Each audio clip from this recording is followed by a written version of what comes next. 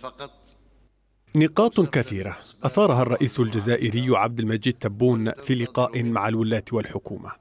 لكن من أبرزها حديث الرئيس عن أطراف داخل الإدارة الجزائرية تعمل على ضرب استقرار البلد. أطراف اتهمها الرئيس بالولاء لمن أسماهم العصابة في إشارة إلى مقربين من الرئيس السابق عبد العزيز بوتفليقة وأغلبهم مسجون بتهم فساد.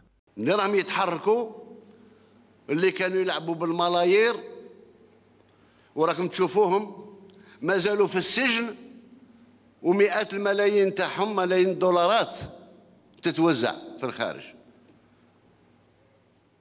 شكون اللي خرجهم؟ شكون اللي اعطى الأوامر؟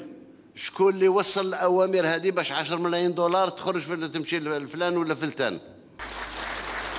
الاستفتاء على الدستور كان حاضرا أيضا في كلمة الرئيس الجزائري الذي طلب من الحكومة والولاة الاستعداد لتنظيم استفتاء شعبي على مسودة الدستور. وأدعوكم من الآن إلى الاستعداد لمرحلة الاستفتاء حتى نوفر أفضل الظروف والشروط المادية والنفسية لتمكين المواطن من قول كلمته الفاصلة في مستقبل وطنه. تغيير الدستور الجزائري كان أحد أهم الوعود الانتخابية لعبد المجيد تبون وبعد استلامه السلطة في ديسمبر الماضي عين التبون لجنة لصياغة دستور جديد. مسودة أثارت الكثير من الجدل منذ الكشف عنها في شهر مايو الماضي.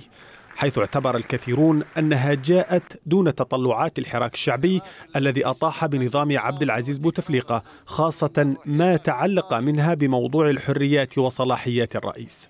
ورغم أن دعوة بعض ناشطي الحراك وأحزاب سياسية إلى إعادة النظر في صياغة مسودة الدستور فإن تبون ماض على ما يبدو لحد الآن على الأقل في طرحها بصيغتها الحالية في موعد ما زال لم يحدد بعد.